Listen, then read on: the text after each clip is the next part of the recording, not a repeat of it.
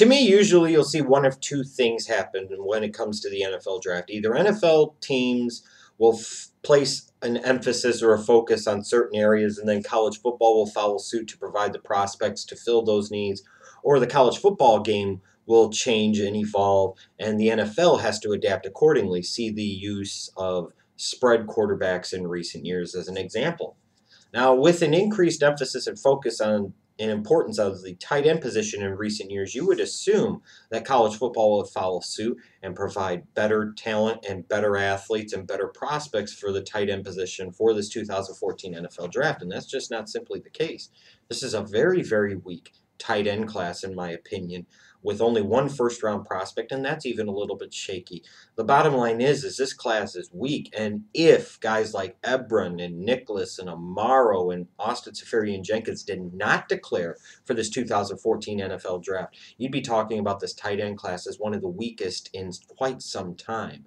Not a good class at all. Now you can look at my tight end prospect rankings in the description box down below. I've got a total of 15 tight ends that I feel, in my opinion at least, are draftable for the 2014 NFL draft. And then you see kind of where I rank them in terms of their overall draft stock.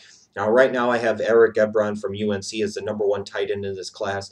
I do think he'll end up being a top 10 or at the very worst a top 15 pick in this draft. And I understand that based off of his speed, off of his athleticism, and his explosiveness that he brings to an increasingly important position and the fact that this is a very weak class, sometimes what will happen is when you have that one prospect that's a little bit above the rest and that overall class is weak, it will really help his draft position because somebody's going to overreach it for him because they're going to say, ah, there's such a difference between guy number one and guy number two, three, and four that we have no choice but to overdraft this guy to make sure that we get an impact player at this position. So that's why I would be stunned if Ebron dropped out of the top 15. Frankly, at this point, I'd be stunned if Ebron wasn't one of the top 10 or 12 picks in this draft. Um, but I don't think he's that good of a player. I understand some of the Vernon Davis comparisons, and I see them, but I also see some of the inconsistencies that a Vernon Davis had coming out of Maryland, too. So I see the good comparisons, and I see the not so good comparisons, especially to early NFL Vernon Davis, who was a big tease and a big disappointment in a lot of ways. Um, in terms of the other tight ends, the other top tight ends in this class, you might be surprised to see me have Troy Niklas from Notre Dame, number two. It's what I saw. I saw a well rounded tight end that remind me somewhat of a Kyle Rudolph or a Tyler Eifert. Maybe not quite as good, but pretty close in that kind of image of the recent Notre Dame tight end. And with the success of guys like Rudolph and Eifert at the NFL level recently, I think if anything, that should boost the draft stock of a Troy Niklas a little bit. And when I watched him, this was a guy that could make some plays in the passing game. He's a little bit better athlete than he's given credit for. He's a nice physical red zone target, and he's very good as a blocker as well. That's why I have him graded as the number two tight end. You know, guys like Amaro and Austin Seferian Jenkins, when I went and watched him, I thought it was going to be more impressive than I ultimately ended up being. I thought they were going to be a little bit more athletic than I ended up seeing. Now, in the case of Amaro, that's not to say that he's still not athletic. I thought he was going to just be more athletic than what I saw. But a guy that could line up outside, a guy that can line up in the slot, maybe you could do some stuff with him out of the backfield. I'm not sure if you would want to uh, use him as a pass catcher very much, um, lining up next to the offensive tackle.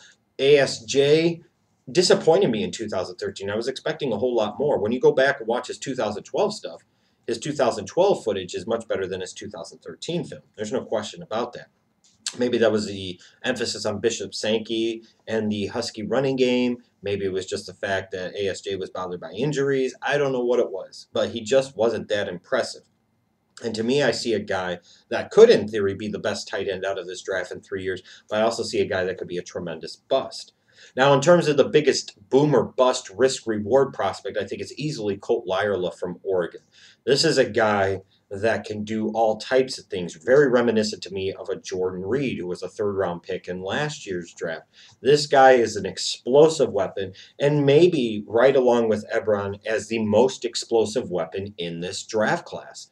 The problem is, though, is that with all the skills that he brings to the table, he also brings a lot of baggage. Um, multiple, multiple driving offenses, has a suspended driver's license, cocaine arrest, quit on his team early in 2013. Guy brings a lot of baggage, looks very immature, presents himself as very immature.